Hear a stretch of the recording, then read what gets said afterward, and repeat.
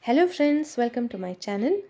In today's video, I'll be showing you how to prepare this wholesome and healthy methi thepla recipe. If you like this recipe, please hit the like button and for more such interesting recipes, please hit the red color subscribe button and also press the bell icon next to it to get notified on my latest updates. So let's get started. In a large mixing bowl, I've taken 2 cups of wheat flour, for 2 cups of wheat flour, I'm adding here 1 cup of freshly chopped methi leaves. You can even reduce the quantity of methi leaves to half cup of methi leaves. I've added 1 cup of methi leaves. Next ingredient is hing. I'm adding half teaspoon of hing. You can even add ajwain instead of hing. For the spiciness, I'm adding 2 teaspoons of red chili powder and add some salt according to taste. Around 2 teaspoons of salt is required.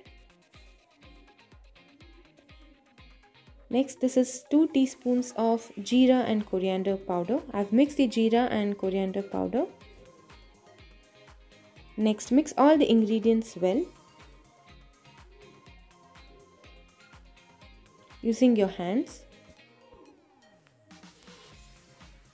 Into this add 1 4th cup of curd. 1 4th cup of fresh curd is added to enhance the taste of the parathas. Don't skip adding the curd, it will give a great taste. Mix all the ingredients well and add water as required.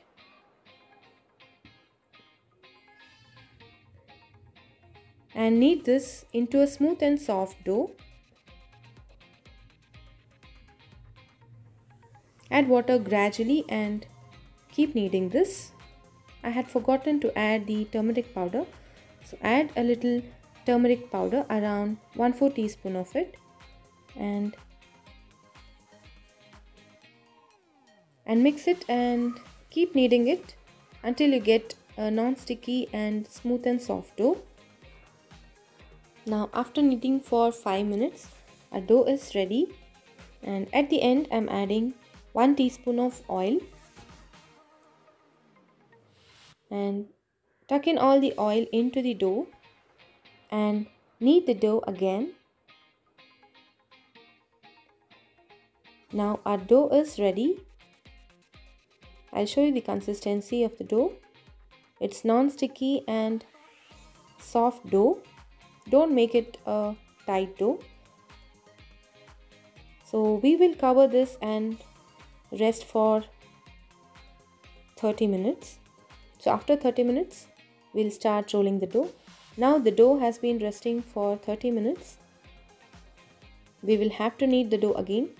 The more you knead, the softer your parathas will get. So knead it again and squeeze out a small portion of the dough by applying oil to your hands and that's some wheat flour. These methi theplas should be rolled very thinly. So roll it as thin as possible. So now the rolling is done and roll all the sides. And transfer this on a very hot tawa. Roast on this side until you observe a change in color and you get small bubbles on the roti. Drizzle a little bit of oil on it and flip over and roast on the other side too. Apply oil on top and you need to cook these methi theplas on very high flame. They are generally cooked on high flame. Cook on both sides until you get golden spots.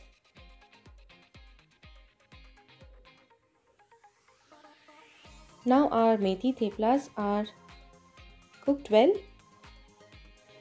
You can see nice golden spots on the roti. Transfer it on a plate.